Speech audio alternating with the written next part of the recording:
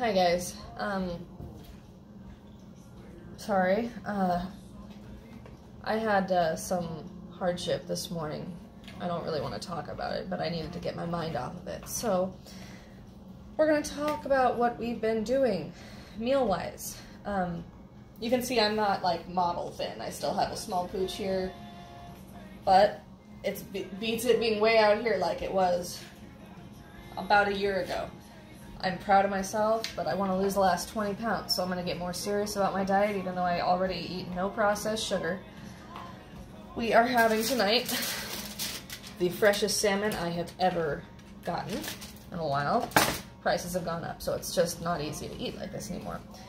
I am going to dress this up. And then we are also going to have for the side, beautiful garden salad.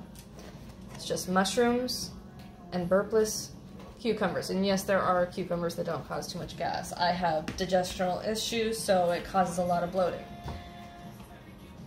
So, we're going to use dill and Johnny's seafood seasoning and just a little bit of butter to add some flavor at the end.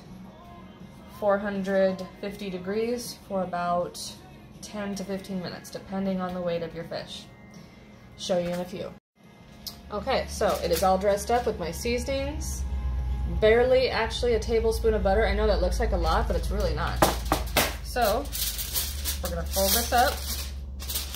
Normally I would grill, but we're still training our pup not to get near the grill when it's hot.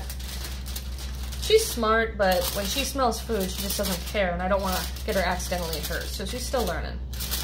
So, tightly packed. I'm to set the oven to 450 degrees, and I'll show you exactly how it's done when it's done. And the final product, freshly cooked salmon. Still sizzling in there. Gorgeous.